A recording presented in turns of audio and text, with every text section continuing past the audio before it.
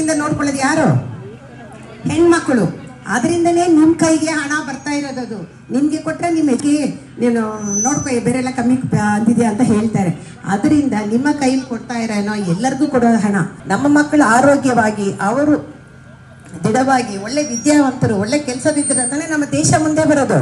ಅದಕ್ಕೋಸ್ಕರನೇ ನೀವು ಅರ್ಥ ಮಾಡ್ಕೋಬೇಕು. ಅದು ಬಂದ್ಬಿಟ್ಟು ನಮ್ಮ ಮುಂದಿನ ಪೀಳಿಗೆಗೆ ನಾವು ಕೊಡುವಂತ ಹೂಡಿಕೆ. Investment for our future generation. ಅದನ್ನು ನಾವು ಅರ್ಥ ಮಾಡಿಕೊಂಡು ನಮ್ಮ ಜನರು ಚೆನ್ನಾಗಿ ಬೆಂಗಳೂರು ಸೌತ್.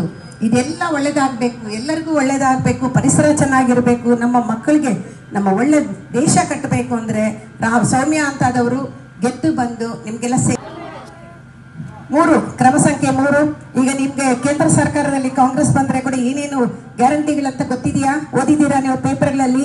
ಇವರಿಗೆ ಯಾರು ಉದ್ಯೋಗ ಇಲ್ದಿರೆ ಇರ್ತಾರಲ್ಲ, ಅವ್ರಿಗೆ ಒಂದು ವರ್ಷ ಎಂಟೂವರೆ ಸಾವಿರ.